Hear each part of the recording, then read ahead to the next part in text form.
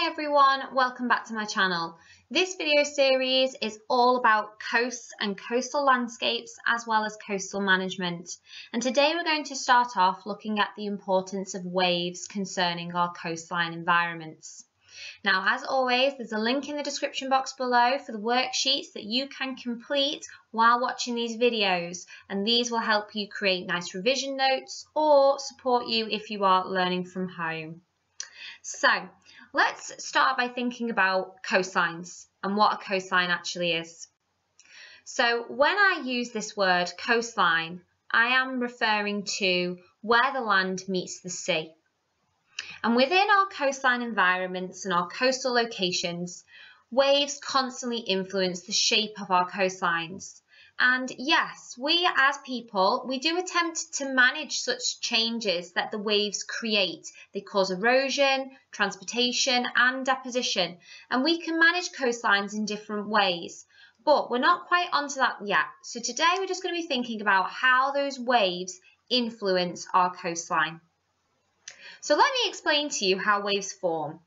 So if we were, for example, to hold a cup of water in front of us and blow over the surface of that cup of water, that gust of air coming out of your mouth will travel over the surface of the cup and create friction.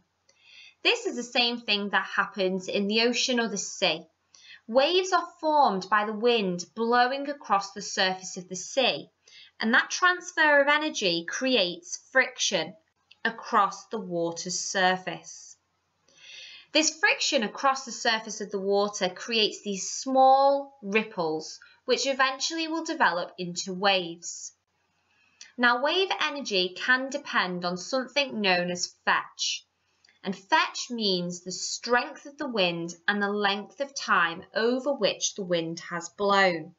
So the longer the fetch, the greater the possibility of larger waves being created and potentially this may result in storm-like conditions. So what happens then when waves reach and approach our coastline? Well, out in the deep ocean or in your deep sea, before they reach the coastline, waves will travel in a circular orbit in the open water. But as they approach the coastline, friction with the seabed of the shoreline actually begins to distort the circular orbit and make that wave become a more elliptical shape. The crest or the top of the wave then moves at a faster speed compared to the trough, the base of the wave, and that then increases the elliptical orbit. When the wave eventually approaches the shoreline, that wave will break and wash onto the shoreline. The water then that rushes up the beach is known as swash, and the water that retreats and flows back towards the sea is known as backwash. Now, despite the relatively wavy surface of the open sea, there is little horizontal movement, this side-to-side -side movement in the open water. This side-to-side -side movement only occurs when the waves break and surge up the beach through swash as they approach the coastline.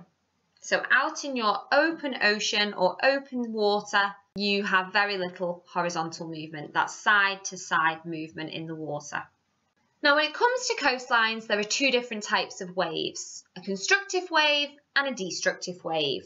And both of these waves can influence the shape of the coastline in very different ways. So we're going to start off looking at a constructive wave.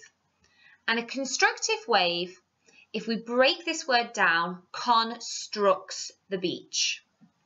So these waves are what are responsible for building up those lovely sandy or silt shingle beaches.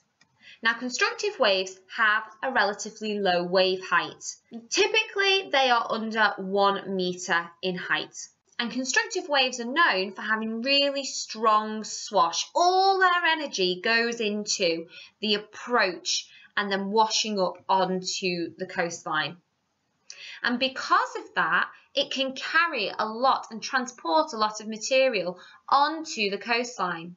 But constructive waves have a very weak backwash and they use all their energy in the swash. So when it comes to them retreating back into the sea through backwash, they have no energy left. And this causes deposition to take place. So that sediment, that sand, that silt, that gets dropped off on your coastline and that constructs and builds up your beaches. Now constructive waves are also known for having very long wavelengths and they also occur at a very low frequency.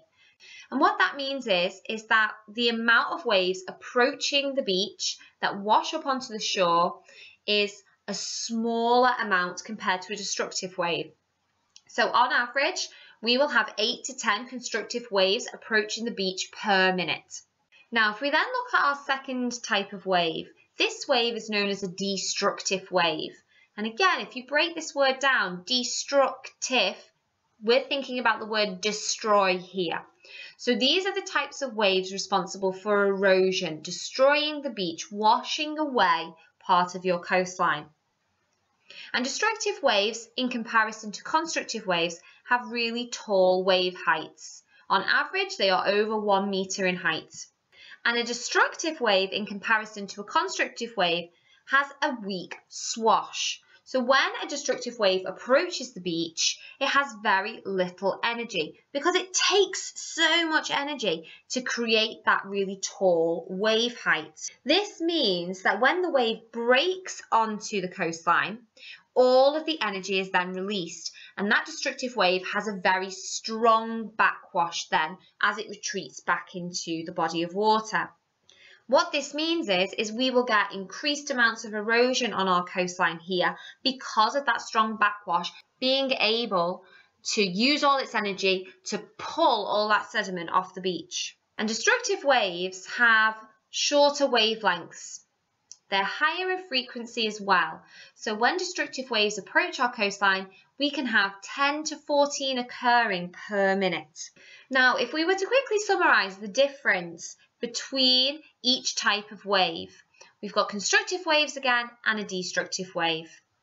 And if we're thinking about wave height, our constructive wave has a low wave height, typically under one metre, whereas your destructive wave has a tall wave height, typically over one metre. In relation to the length of the wave, your constructive wave has a long wavelength compared to your destructive wave, which has a short wavelength. And when it comes to wave frequency, we will get 8 to 10 constructive waves approaching the coastline per minute. In comparison, our destructive waves, we will have about 10 to 14 per minute. Now, when we're thinking about the strength of the swash, we're thinking about when the waves approach. Our constructive waves are the one that has the strongest swash, and your destructive wave has the weaker swash because it needs more energy to generate that wave height. The strength of the backwash when the wave retreats from the coastline, your weak backwash is your constructive wave. And your strongest backwash is associated with your destructive wave because they cause erosion.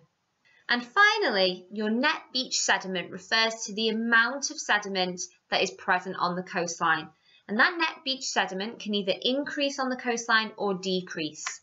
So when it comes to constructive waves, because they construct beaches and they build up beaches because of deposition occurring due to that strong swash and that weak backwash, our net beach sediment will increase. In comparison, a destructive wave, because of its really strong backwash, will have a net beach sediment which decreases because of erosion taking place. So as always everyone, thank you so much for watching. Please like and subscribe if you're finding these videos useful and I'll see you next time.